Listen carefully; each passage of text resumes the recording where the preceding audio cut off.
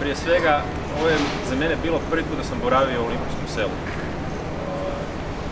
Čak i u Pyeongchangu gdje sam bio u ovoj ulozi smo boravili u jednom hotelu oko skijališta.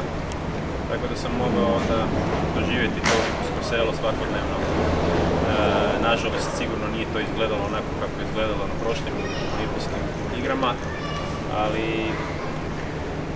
tako je bilo kako je.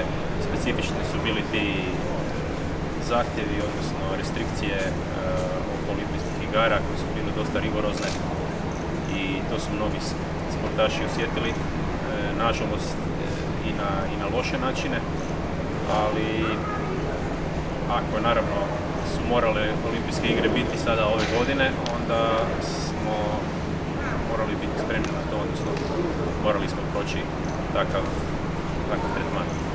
Svakako impresivno što se tiče infrastrukture, u tako kratko vrijeme podići tako e, mnogo borilišta koja naravno ipak e, prelaze granice e, dvorana i, nekakvih zatvorenih prostora, dakle tu se radi o skijalištima i o prilično velikim zahvatima. Morali su napraviti i ceste do tih skijališta. Tako da, što se toga tiče, tako nešto je mogla napraviti samo jedna moćna zemlja kao što je Kina. E, ono što je sigurno nedostajalo na, na tim igrama je taj nekakav olimpijski duh, prvenstveno zbog restrikcija. I žao mi je da, da nismo mogli imati, ajmo reći, normalni olimpijske igre.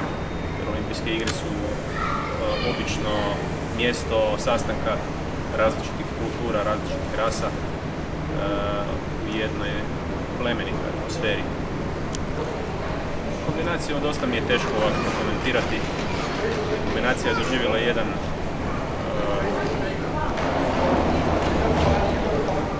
jedan kraj koji, koji ne zaslužuje. I jako mi je žao toga.